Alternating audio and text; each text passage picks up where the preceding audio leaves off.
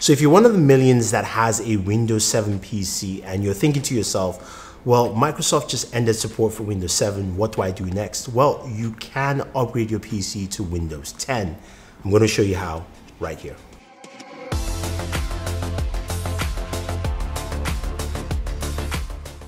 Hey guys, Thunder E here and in this video I'll be showing you how to take your Windows 7 PC or laptop and upgrading it for free to Windows 10.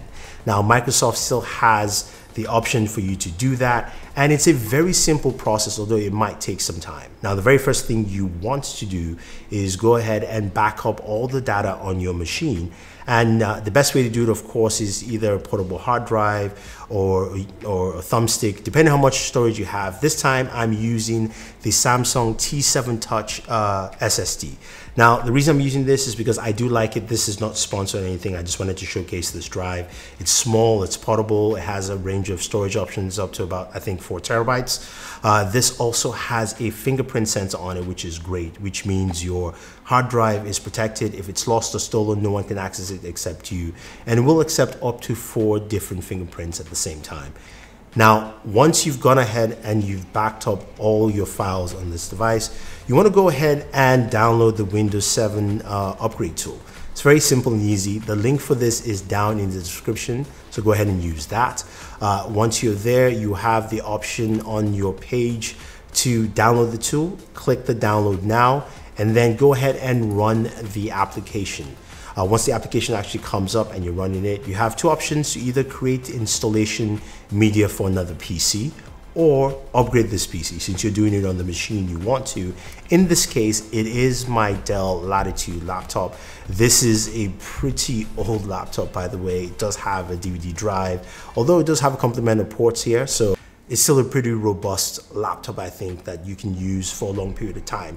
Uh, so you click on the upgrade uh, this PC now option.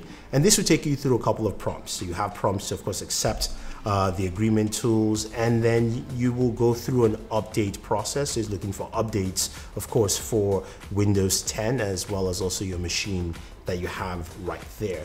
Then you'll be taken to a prompt that says, do you want to keep your files or do you want to select the files you want to keep? Since you've backed everything up, you can go ahead and just click next. Once you've done that, then the true installation process begins. Uh, this takes some time. Uh, this took me about two hours in total. It could be longer than that. It could be shorter than that, depending on the machine you have, and also your internet connection. I was connected via Wi-Fi, so if you're hardwired in, uh, rest assured it should take a faster amount of time. But it took me about two hours. Once that uh, goes through, you're going to go through a couple of different prompts, which all you have to do is just hit next, uh, wait for it, and then the last step is an update, of course, for your installation process.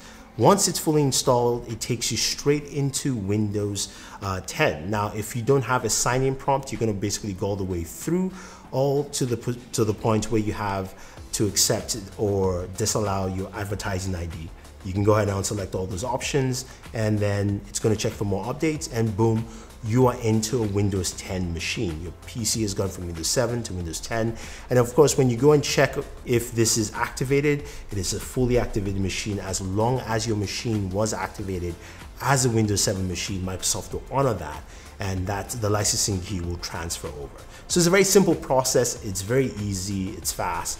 Uh, just a couple of things you need to do, making sure your data is backed up and secure, and also going all the way through with all the different prompts. If you have any questions or any comments about this, let me know. Otherwise, don't forget to like, share, and subscribe.